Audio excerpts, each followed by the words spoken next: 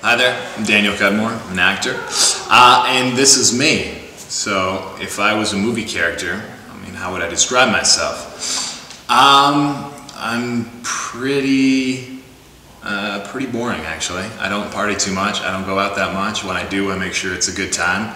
Um, and I'm more stay at home, kind of chill kind of guy. Uh, when I'm not working, how do I spend my days?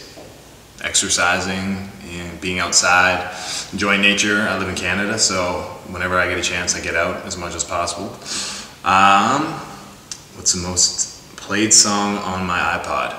It's probably Kings of Leon right now. I'm definitely uh, going through the, all of the Kings of Leon albums like crazy. Hmm, what is your favorite form of exercise? I, I don't know if they're a favorite, but I know I need to do it. So, working out in the gym, stuff like that. Um, but yeah, just making sure that I do something every day. Do I speak any other languages besides English? Uh, no, no. I got uh, I got a bit of French, um, and that's really about it. Um, I wish I could speak other languages, but not so much. First thing people say to me when they first meet me, "How tall are you?" Um, that's pretty much on everyone's mind every time I meet them. Uh, and if you want to know, six six. I'm not that big of a freak.